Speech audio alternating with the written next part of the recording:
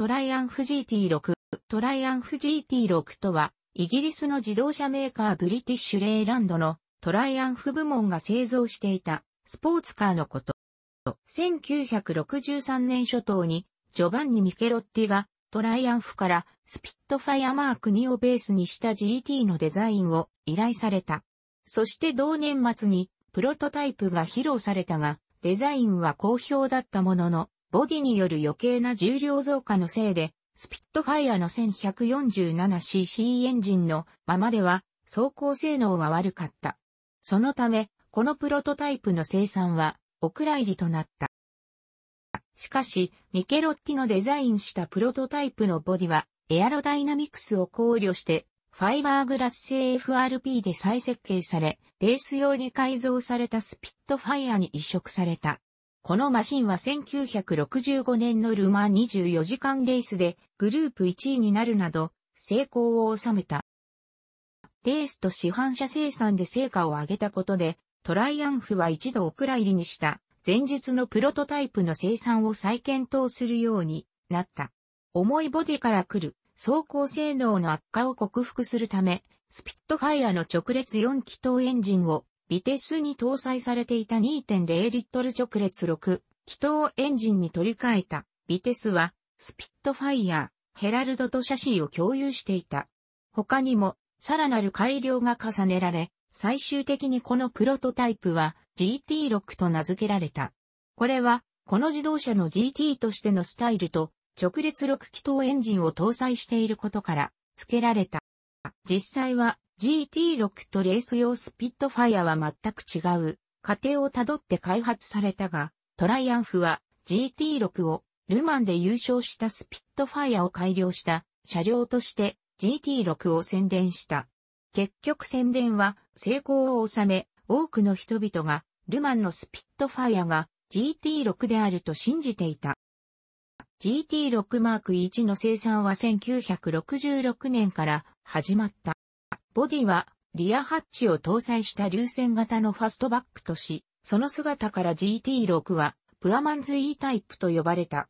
GT6 は本来2シーターだったが、2プラス2シーターもオーダーが可能だった。プラス2シーターは子供が乗るのには十分な大きさだった。ベースがスピットファイヤーだったためそれとの類似点は多々あったが、ボディパネルに関しては一つも共有しているものがなかった。これは直列6気筒エンジンを搭載するため、新たなボンネットが必要だったことなどが要因である。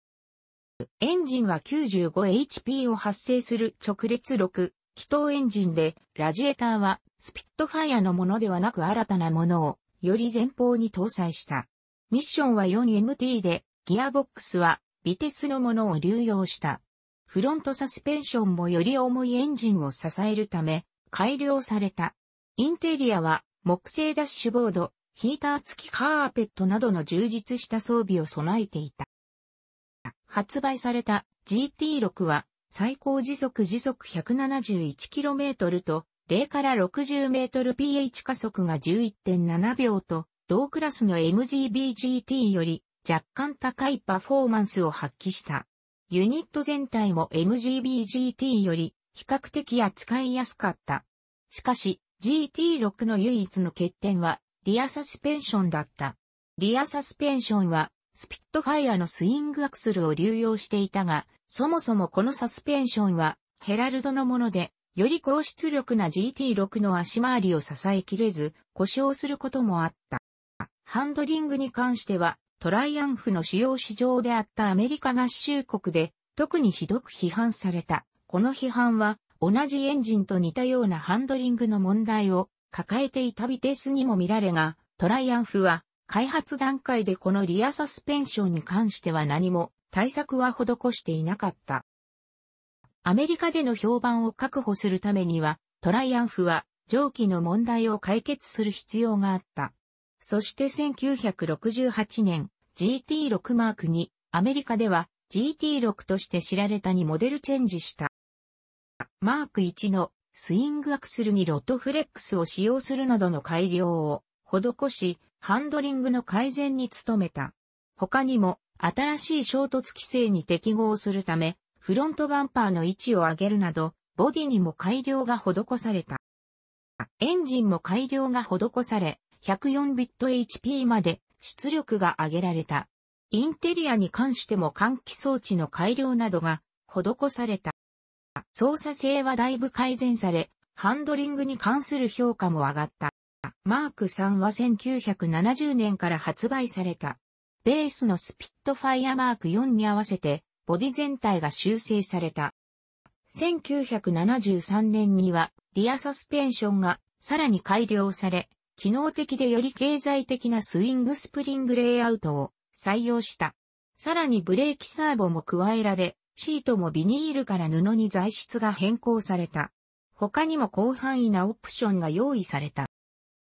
走行性能に関しては、マーク2と大差はなく、最高時速時速 188km、0から 60mph 加速は10.1秒と、ライバルとしていた MGB-GT ともそれほど性能差はなかった。最高時速時速 169km、0から 60mph 加速約13秒。しかし運悪く、アメリカでの最終モデルは、低オクタン化ガソリンに対応しきれず、圧縮比が低下して、走行性能も低下した。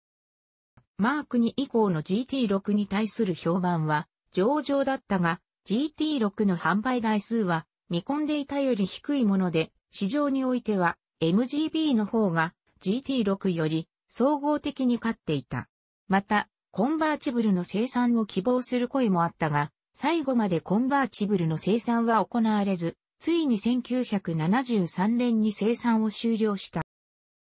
GT6 は今でも人気は高く、しばしばアメリカやイギリスなどのクラシックカー走行会でも、その姿を見かけることが多い。パーツも多くのトライアンフ車と共有されており、GT6 の現存率は他の車と比べても比較的高い。また、コンバーチブルバージョンは最後まで生産されなかったが、オーナーの中には自分で改造してコンバーチブルとしたものもいる。